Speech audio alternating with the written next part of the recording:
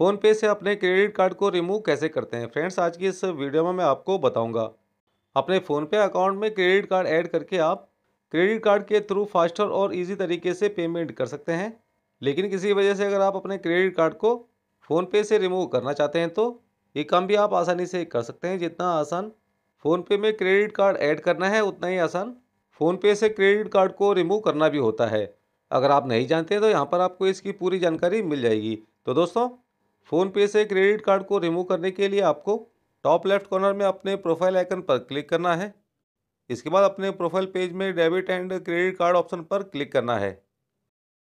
अब जो next interface open होगा यहाँ पर, फ़ोनपे में एडेड अपना क्रेडिट कार्ड आप देख सकते हैं और नीचे की तरफ़ ऐड न्यू कार्ड ऑप्शन पर क्लिक करके आप फ़ोनपे में अपना दूसरा क्रेडिट कार्ड या फिर डेबिट कार्ड ऐड कर सकते हैं।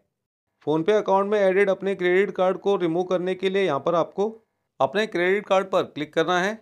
इसके बाद नेक्स्ट इंटरफेस में अपने क्रेडिट कार्ड को रिमूव करने का ऑप्शन आपके सामने आ जाएगा। तो दोस्तों, अपने क्रेडिट कार्ड को रिमूव करने के लिए यहाँ पर आपको रिमूव ऑप्शन पर क्लिक करना है। इसके बाद एक पॉपअप ओपन होगा, इसमें आपको कन्फर्म ऑप्शन पर क्लिक कर देना है। इसके बाद फ़ोनपे से आपका क्रेडिट कार्ड डिलीट हो जाएगा। तो इस तरह से गाइज़ फ़ोनपे में एडेड अपने क्रेडिट कार्ड को कभी भी आप आसानी से डिलीट कर सकते हैं। अगर आप फिर से फ़ोनपे में अपना क्रेडिट कार्ड ऐड करना चाहते हैं, कोई दूसरा डेबिट कार्ड या फिर क्रेडिट कार्ड अपने फ़ोनपे अकाउंट में ऐड करना है तो वो भी आप यहाँ से ईजिली कर सकते हैं। इसके लिए यहाँ पर आपको ऐड न्यू कार्ड ऑप्शन पर क्लिक करना है और फिर अपने कार्ड की डिटेल एंटर करके वेरीफाई कर लेना है।